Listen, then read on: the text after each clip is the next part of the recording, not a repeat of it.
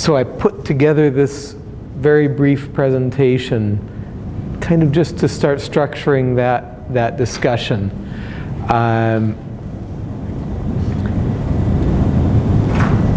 maybe to begin with, a, a, comment, which is what we've seen is, thanks to Tanya and Selwyn, a nice view of a biodiversity informatics institution based in government. Uh, we got the beginnings of a second example of that from Jorge. We're going to see more of that, I think, this afternoon and tomorrow morning. So we have two good, successful examples of essentially achieving this challenge from within government. Then Chris gave us an example of achieving this challenge from within academia. And now we start to get a view of a very different solution from CRIA, which is doing this challenge independent.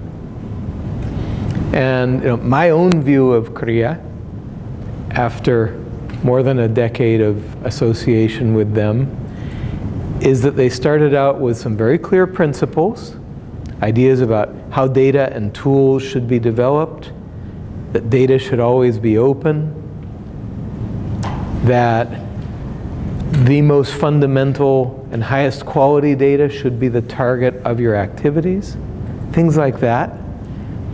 And they developed some very circumscribed but very useful and successful early products. And so it, it's kind of a Lord of the Rings sort of situation where you have these, this very small institution when, uh, making its way amongst these very big institutions that can be very powerful, very vengeful, very negative. And yet, in some sense, CRIA holds the ring of power, which is honest, solid data and information. So very interesting very novel, and I can attest, having, having been friends and colleagues for, for a decade or so, also very stressful and very, um, th there's no moment at which CRIA as an institution and its directors, Vanderlei and Dora and Sydney, have been able to sit back and relax. And, you know, you never know who your next enemy is. It's very strange but at the same time very successful. So it's, it's an interesting additional example. So anyhow, let's, let's just start to think all together about what we're learning. Um, there's quite a bit of importance here as far as strategy. You know, I think one thing that we've, that we've talked about in the last few days is you don't just jump in. You know, there's this, this phrase from Nike, which is just do it. Well, no. It's a very complex field. You have to know where to start, where to invest your time, what partnerships to build, and what partnerships to avoid. And rather, we have to construct a very carefully thought out path towards the goals that are really out there on the horizon. Uh, I couldn't resist adding this in. You know, if Rome was built in a day, well, these guys would have used that con contractor, which is to say, if there were an easy way to do it, everybody would use that, that protocol. There is no easy way. I think you all have appreciated that in the course of these examples. So here's another of my institutes, right? Everything in Biodiversity Institute. And notice that it's new and improved. Notice that it has a large charismatic um, thing that everybody's going to say, oh, how cute, right? Or how beautiful. And what does my institute do? It does biodiversity discovery, systematics and taxonomy, data capture, analysis, conservation prioritization, and policy. Oh, and sustainable development as well. so support us now, but notice this. It was just established, which is to say I just invented it on my computer there. But it's an institute. That's not the way to do things, right? Remember limited circumscribed goals? That's the whole field, or almost the whole field.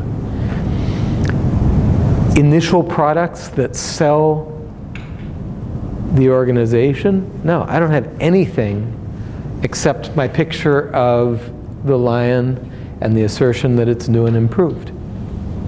Okay? So it's just, just things to think about as far as this strategy. A really important point is to assess the situation before you start. What are the opportunities? We've talked about building on existing institutions. We've talked about building on existing data or building off of already uh, successful projects. But it really has to respond to real and present needs in the community you know, essentially, the worst situation is when you have a hammer and I'm looking for nails, right? No, it should be, I have a loose board on the outside of the building. What are the tools that I need to fix that problem? So what is the community? That's part of this strategy. Is it government? Is it conservation NGOs? Is it academia? Is it public health institutes? Is it municipal authorities? Who are you talking to? And what do they need? Do they need data? Right? GBIF, for example, was conceived as a data infrastructure. So one thing that I wrestle with, Chris wrestles with, a lot of people wrestle with, is why are they trying to do policy?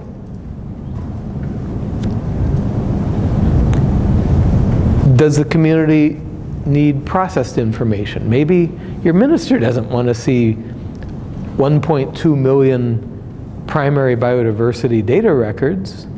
Your minister just says, where do I put this reserve? Or do I let them do this activity of development? Doesn't want the data. The science community doesn't want the processed information because scientists are trained not to believe anybody, right? But the minister doesn't want the data because he or she does not have the time to pay attention to that. Other user communities want very different things. So remember this principle of achievable goals. All of these presentations will be in your hands by the end of the week, so don't worry about writing things down. But we, we've talked about these things. Limited sets of goals, strategic sets of goals so that they respond to the needs of the community. Essentially satisfy the users. Satisfy that initial target community or small number of communities. A couple successes early on is much more important than giving that spectrum of we do everything essentially become indispensable. That's what CRIA did. In spite of all of those enemies and all of those other interests and all of those big institutions, CRIA became indispensable. VertNet became indispensable.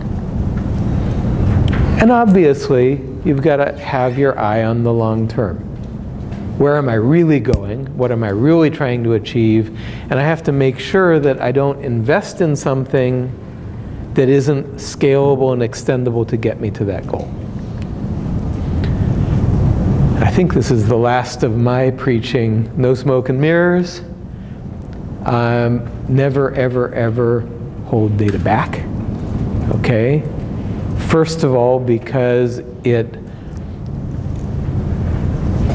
reflects pretty poorly on your principle of open access, but also because it, you know, we talked about uh, stable, credible, neutral player. It kind of reflects on your organization as, as whether it's honest or not.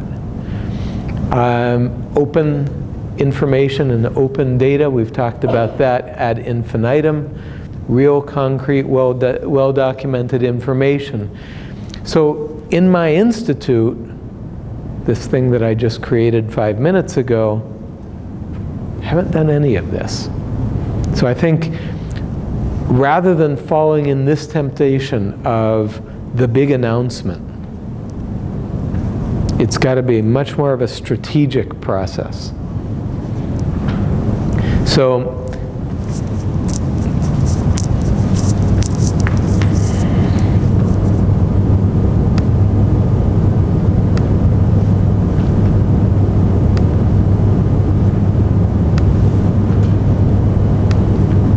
just to kind of, we can come back to this document later. But I've been jotting down little bits of wisdom up here on the board. And then I started to categorize them.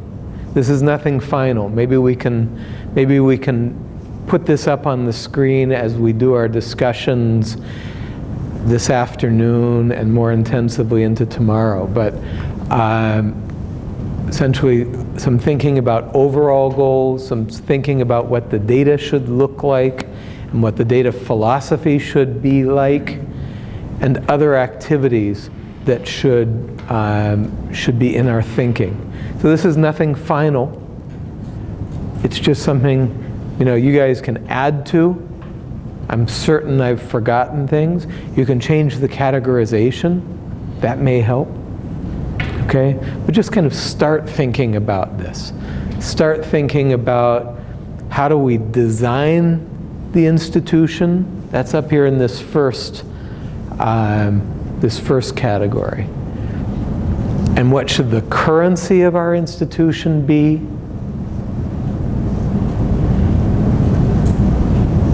And we don't want to get too big, we don't want to take on too much. But some of these, these other activities can be pretty important. You know, as Vanderlei said, if I may paraphrase, Vanderlei is not a spring chicken, right? None of us is. I mean, too much gray up here. But if CRIA isn't looking 10, 20, 30, 40 years down the line, at which, at which point Vanderlei would be over 100, and I would be 90, it dies. And it's not just a matter of preserving the data, but the institution should not be smoke and mirrors. And so, how do you prioritize the important elements of that institution or Conabio in Mexico or SANBI? And how do you make sure it's not dependent only on Tanya or only on Selwyn or only on one particular minister or on one particular presidential administration. Uh, we have a colleague at KU who talks about the bus test. And so here's, here's the, this is a great example because Chris is wearing his cycling jersey, which is to say he was on his bike all weekend around Cape Town Chris talked to us about KU Biodiversity Institute as an institution in biodiversity informatics. Well, what would have happened, or what would happen, if Chris got on his bike and the city bus is driving down the street, Chris is right there, and so Chris is dead. Most of the Biodiversity Institute would break into song. Happy but it, but it's a serious test of an institution. Yep. Yep. Does KU Biodiversity Institute go back to just being a systematics group, a museum? Or is there some continuity? You know? Each one of these people that you're hearing from, I wouldn't wish anything ill on Tanya, uh, Chris sometimes, but usually not each one of these institutions needs to think about that bus test. We could all step off the curb at the wrong moment and be flattened, right? A bolt of lightning. Does the institution survive? Or at least, do the important parts of the institution survive?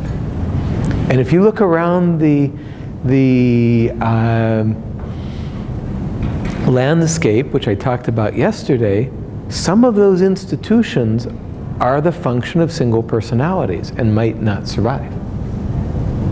So it's just something to think about. Maybe I'll add that to the overall goal, survivability, you know, the bus test. So, so I just wanted to take 10 minutes and give you a little bit of at least where I'm seeing the lessons from this. And if you guys think of things that I've left out, you know, please raise your hand. Let's talk about them. Let's add them in. Um, and over the next couple days, let's let's play with this list or some some other version of it. Feel completely free to take this and reorganize it, or throw it out and redo something something better. Okay, but let's talk about it. Any questions at this point?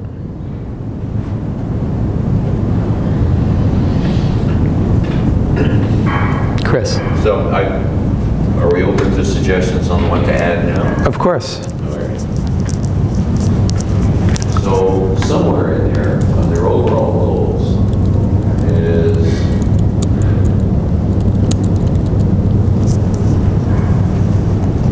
uh, I would put in the five things that I talked about. The, what would be the measure of success, say five years down the road? Does it have, um, so an overall goal would be make it known.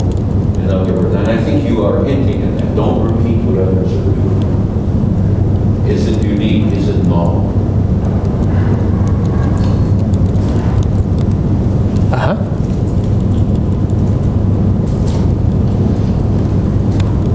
Um, Will it be effective?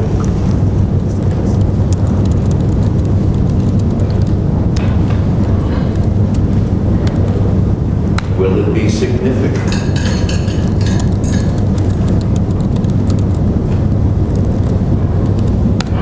Will its results be transferable?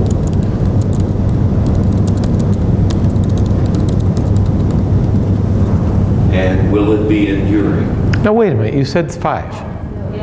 Well, that's the fifth. Novelty, effectiveness, significance, transferability, and endurability. Ah, so these are the measures of success. Measures, of- but in many ways, those should be part and parcel, I think. Uh, Yes, my, yeah, of the goals. And I think many of your goals encompass Yeah. those uh, measures. So for example, survivability, the bus test is, will it be endurable? Right. Or does the success of the institution rest on one individual? The one, pro- if the prophet dies, does the religion die?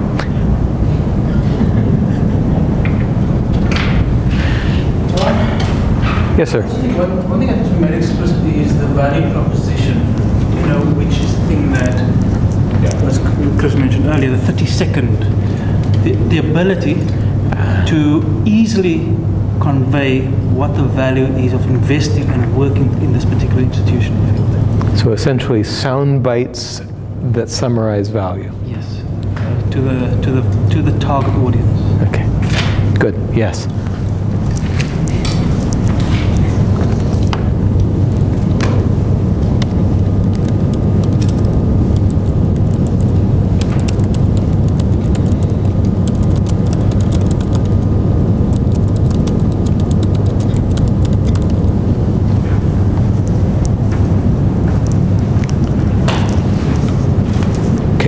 We don't have to finish this today.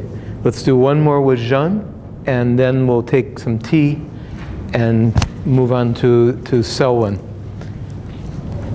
In some countries, like in, in mine, we may have a lot of work to do on biodiversity.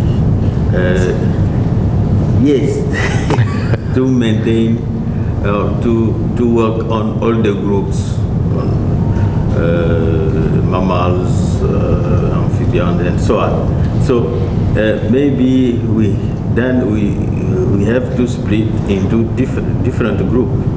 Uh, so that uh, one group will work on mammals, another one will work on uh, birds, and I don't know, or uh, make uh, in different places uh, group working on all the groups mm-hmm. of mm-hmm. animals. I don't know what, what is possible to So, so is your point about institutions kind of being the right size, not too big, not too small? Yeah, Okay. Uh, yeah, So a kind of appropriate scope of a particular institution, yeah. right? Is it just birds, just mammals, just vertebrates, just life? Yes, yes, but then we will not have all the work done if we have, Right. Right, if it's too big, yeah, then those are not achievable goals. yes. Okay. So,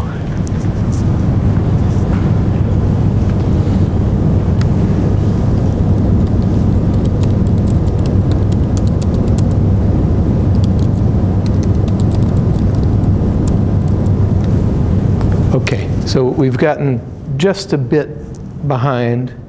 It's only 25 minutes.